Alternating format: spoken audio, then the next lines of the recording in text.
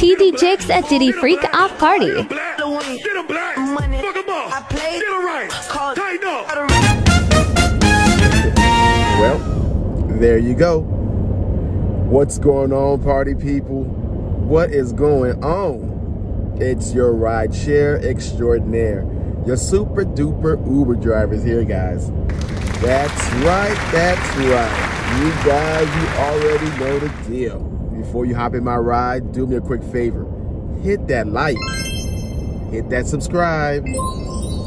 Por favor. Okay, let's do this. Hop on in. Buckle in. And let's go. Yeah! Okay, okay. Party people, welcome back. Thank you for hitting that subscribe button. What are we talking about today, folks? What are we talking about today? Man, guys, I know you love a good sex scandal. I know it. Ever since P. Diddy came out and paid off Cassie, all these people start coming out. You know, everything's coming out about P. Diddy. If you've been affiliated with P. Diddy, if you are a close friend with P. Diddy, you're getting a splatter too. You know, when the shit hit the fan, everybody getting splattered. All right? Mr. TD Jakes, come on down, sir. Come on down. Come get some of this. Come get some of this splatter. No! Mr. TD Jakes, he is the latest. He is the latest. This is what your ass get. You know what I'm saying? You are a pastor and you want to hang out with celebrities. This is what your ass gonna get. You feel what I'm saying? Stay over there. Stay over there. You want to talk about ratchet music.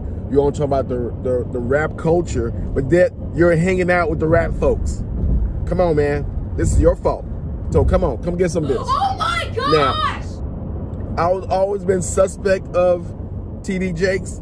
He's been in a, in, you know, he's been in the light for about 20, 25 years.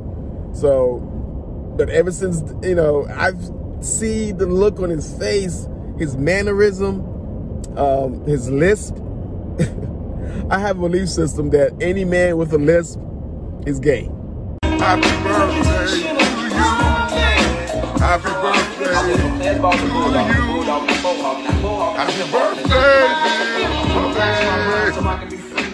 Happy birthday to you. We love you, man. So that's just me. But this guy here is prancing around with P. Diddy. They have people talking about his freakouts and, and allegedly that TD Jakes has been involved with the freakouts. Okay. Now we live in a time of age now. It's hard to hold these secrets. We got video cameras, we got pictures, we got texting, all this stuff. Receipts could come out like this. Okay, and there's a lot of people threatening out threatening that they're gonna put out these receipts. So now again, it may be true, it may not be true. But again, if you're hanging around these folks when you're supposed to be on this side of the aisle, but yet you're chilling with the heathens, you're gonna get it. You're gonna be guilty by association, sir. So it's your fault. Now, there was a time TD Jakes had his own TV show, and he had this officer come out and dance to Beyonce's Single Lady. Let's take a look at the video.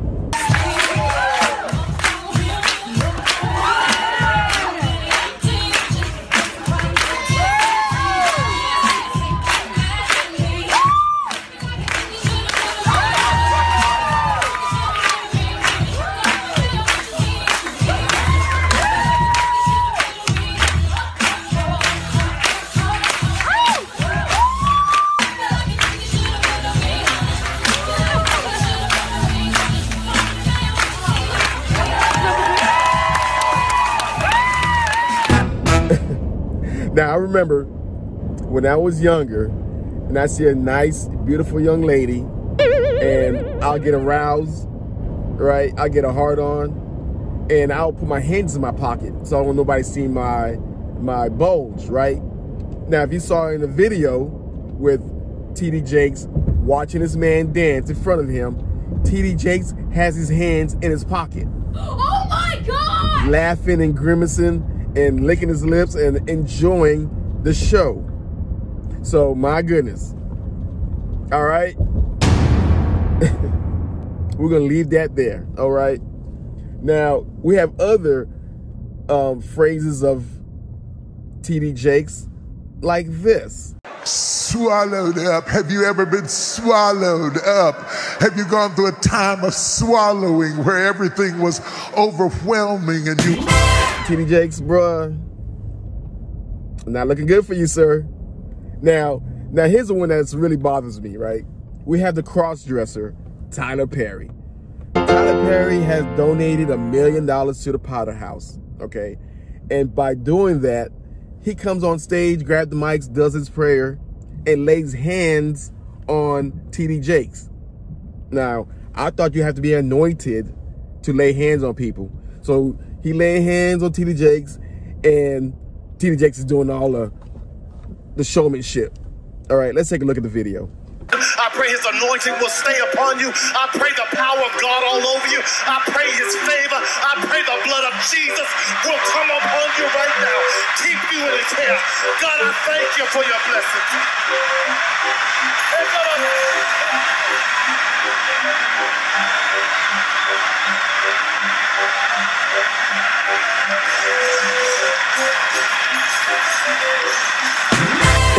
My goodness. What a man would do for a million dollars. Mm, mm, mm. Now, we have the cross-dresser and the false prophet. Holding hands and, and making a mockery of this. But the only people they fooling are the black women. The single black women love these two characters. They love some Tyler Perry. The only way Tyler Perry is rich is he had to act like a black sassy woman and he targeted the church members. Every Sunday, you see big black women going to his his his uh his plays, his TV shows or whatever. So he always targeted the church members, the black women. He made millions, almost a billion off black women. And now we got TD Jakes, the same thing. I remember when um, Kevin Samuel was alive and all the pastors were going after after um, Kevin Samuels. TD Jakes, Creflo Dollar, No! and so on, so on. Right? They were coming after him. And there was a time that TD Jakes was trying to change his message. He was really trying to help some of these black women, trying to find a man, trying to make them look better, trying to make them lose weight. And he was changing his message just a little bit, right? Two, three months into doing that, he saw his tithing offerings going down. He saw his attendance getting smaller, and the women stopped showing up to his churches. So he got the idea. He caught the clue. Go back to pandering. All right, that's where your bread and butter at. So he went back to dissing that Kevin Samuels, and then his money started going back up. Right, his his pews are filling back up again. But dance monkey dance is what Yes! the black women say. They don't want to hear accountability.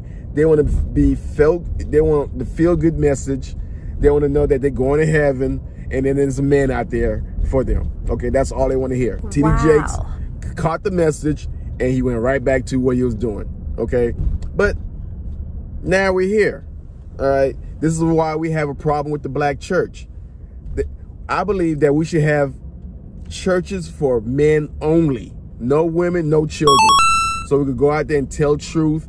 So we go out there and bring back shame into the church. But now we can't do that. We have to watch what we say. We have to um, be mindful about your about the fair sex and all that. So this is why we have a problem with the black church.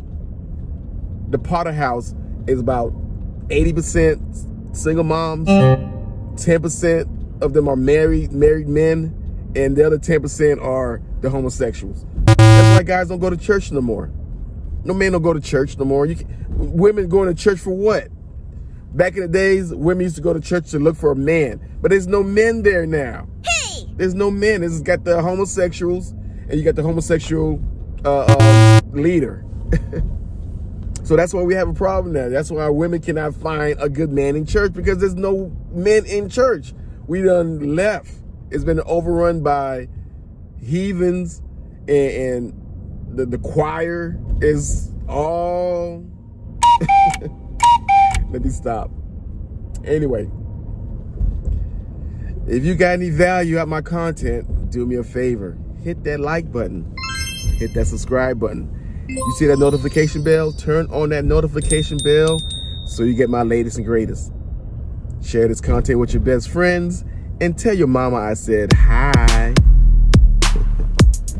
All right, all right. Till next time, I'll see you again. And all you pastors, get off my lawn.